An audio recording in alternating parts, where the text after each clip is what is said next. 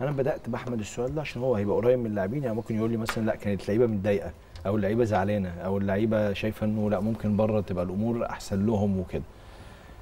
إيه اللي يخلي لاعب ما يلعب في طلائع الجيش حابب إنه يبقى موجود مع طلائع الجيش؟ وهو لاعب كبير وأنا بقول دايما إن أنت ساعدت إنه يبقى لاعب كبير وفي أسماء ما كانتش معروفة بقت معروفة دلوقتي في الكرة المصرية. إزاي بحس أنا بشوف في الملعب اللعيبة كلها عندها حماس وحافز إنها يا إما تكسب المباراة يا إما على الأقل ما تخسرش المباراة. إزاي وصلت لعقليتهم عشان العقلية دي نقطة مهمة جدا يا كابتن طارق. شوف لما آه، من ساعة ما اشتغلنا وإحنا حاطين هدف والهدف ده وصل لاعبين. مفيش شك أي منظومة ناجحة وراها آه، يعني شيء معد مسبقا عشان أنت تنجح. صحيح. ما, ما بنتركش حاجة للصدفة. وده اللي أعلناه للاعبين. واشتغلنا عليه وضغطنا فيه على اللاعبين بشكل كبير جدا. ممكن اللعيب يكون مستاء كعادة اللعيب المصري طبيعي. إن هو ما بيحبش الضغطة ال- التدريبية وإنك دايما تسيبه على راحته. لا, وأنا- إحنا أنا يعني ب- كثفنا أنا آسف إن أنا بقول التفصيلة الزيادة كمان الضغط والتعب. والفلوس يعني مثلا هو لو بياخد مليون عايزهم 10 بالظبط. وعايزهم 20 طب بطبيعة الحال يعني بطبيعتنا البشرية آه، كمان ان أنا بس عايز أكتر. بس في الشغل عاوز على القد. بالظبط. لا إحنا كمان يعني زودنا العيار شوية أها. على أساس نوصل للي أنت بتتكلم عليه يا كريم. آه. اللي أنت اللي بتشوفه ده داخل الملعب اللعيب واقف على حاله بدنية بشكل كويس جدا. بعدين تكتيكيا يعني أنت بتمشي على جميع الاصعده تكتيكيا ذهنيا. وبعدين وصلنا ال- ال- للاعبين إن مش مستحيل مم. إنك تمشي تقدر توصل للمكانة ديت مم. وابتدت صراحة بتوفيق ربنا سبحانه وتعالى النتائج تساعدنا مم. ثلاث نقاط ورا ثلاث نقاط ثم نقطة ثم ثلاث نقاط. ما نخسرش يعني من يعني كنا إن إحنا نعمل الريكورد ده بتاع عدم الخسارة في 18 mباراه ده أعتقد ده يعني ما اتعملش على مستوى الدوري من زمن من زمن كبير جدا. كل الفرق الكبيرة حتى طبعاً. يعني الفرق اللي بالظبط كده. عشان توصل للرقم ده طبعا أنت محتاج عمل دؤوب ومنظم ولعيبه جاهزة نفسيا تكتيكيا ذهنيا. ذهنيا طبعا. والهدف اللي هم بيوصلوا له. في الشك طبعا إحنا بنعمل في يعني في إطار متكامل. مم. تمام؟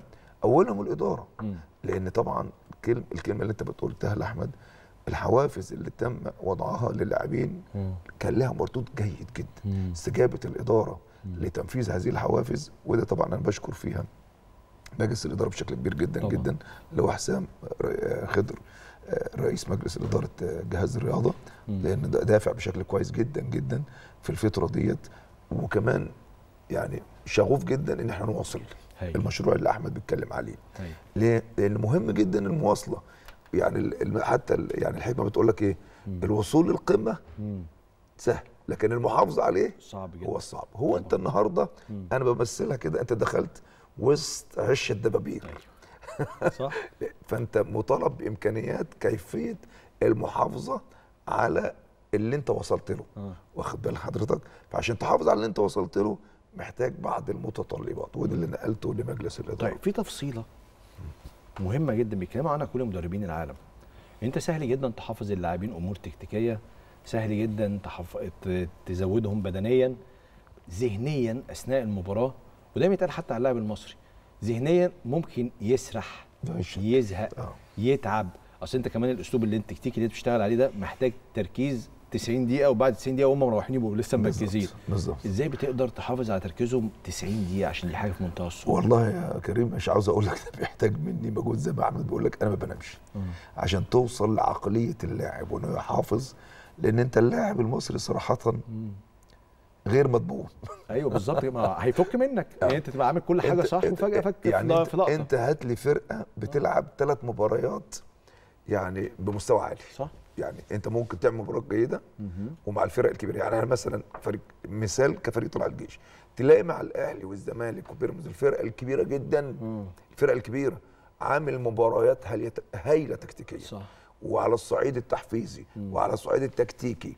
وحتى انت أنا كطارق العاشر مدربهم ما بحتاجش دوافع كتير جدا في الكلام لأن هم محفزين تيجي قدام المقصة تلاقيه خسرت نقاط. تيجي قدام الجونة المرتين الوحيدة اللي تعرضنا للهزيمه هم كانوا رايح جاي. آه. رايح جاي. آه. جيت يعني قدام فرقة هبطت وفرقة على وش مع احترامي. طبعا للانديه دي طبعا. لكن جيت قدام إيست كامباني خسرت نقاط. لو أنت عديت النقاط اللي إحنا خسرناها مع المفترض الفرق أقل مننا في الترتيب مم. كنت أنت عديت المرحلة دي بشكل كبير جدا متواجد في الرابع لوحدك على الأقل. صح. وكنت كمان ممكن توصل أكتر من كده.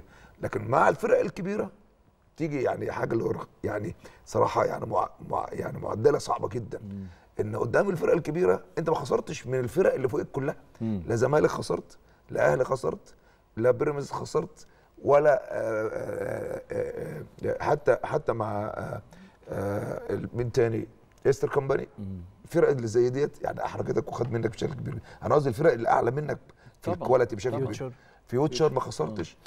بالعكس أنت Future حتى لو إحنا ربنا كرمنا في ماتش الإسماعيلي اللي جاي إحنا بالمواجهات ناخد الم- المركز الرابع. لو تعادلنا حتى 56 56 إحنا بالمواجهات لأن إحنا تفوقنا على Future رايح جاي في المواجهتين. فالمجهود ده بياخد منك ما فيش شك مجهود ذهني كبير جدا جدا عشان تحضر اللاعبين. من مباراة لمباراة. وما تنساش كمان ضغطة المباراة من مباراة لمباراة اللعيبه ذات نفسها. إيه اللي أنا بعاني منه في الفترة الأخيرة؟ اللعيبة زهقت.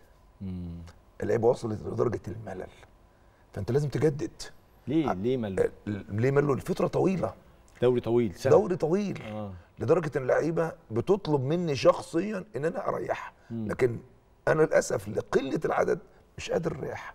فإحنا محتاجين نواصل المشوار. خلاص ان وصلنا خلاص للماتش الأخير. أنا عاوز أقول لك الخمس ماتشات الاخرى دول خدوا مني تحضير نفسي وذهني وحضور مع اللاعبين بشكل كبير جدا جدا عشان اللعيبه ما تقعش منك وتواصل. وخاصة إن- وصل أنت عارف الحتة اللي بتقول عليها. آه. مل مل لعب كرة القدم محتاج يفصل محتاج إن هو يغير الاتموسفير بتاعه عشان يرجع تاني يستعيد نشاطه نظرا للطول وداخل في منافسه ولولا إن إحنا الهدف بتاعنا من مباراة لمباراة بيتجدد. هو ده اللي عطينا الدافعيه بشكل كبير اللي إحنا بنخاطب بيه اللاعبين. يعني إحنا آه، آه، كنا في يعني قبل المباراة اللي بتاعت النادي الأهلي إحنا يعني إحنا بنلعب طبعا النادي الأهلي بشبابه. لكن اسم النادي الأهلي كبير. طبعا. بس إحنا ما بصيناش مين اللي بيلعبه. إحنا بصينا للهدف اللي إحنا عاوزين نحققه. الثلاث نقاط بالنسبة لنا هيقربونا من المنافسة على المركز الرابع.